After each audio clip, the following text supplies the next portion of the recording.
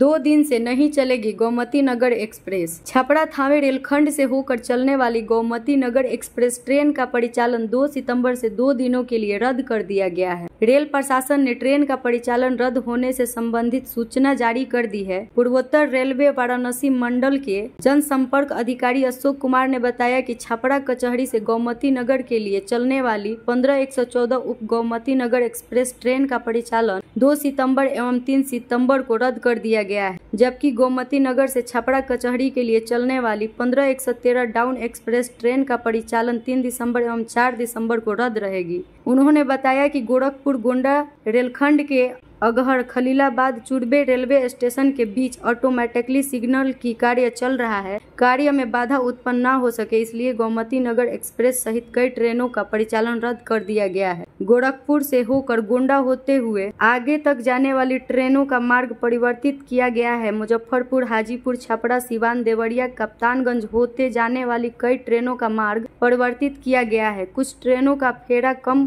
किया गया है। छपरा थावे रेलखंड पर गोमती नगर एक्सप्रेस ट्रेन का परिचालन स्थगित होने से यात्रियों की परेशानी बढ़ सकती है। नमस्कार, आप देख रहे हैं देहाती खबर न्यूज़ मैं आपके साथ अनीसा सिंह।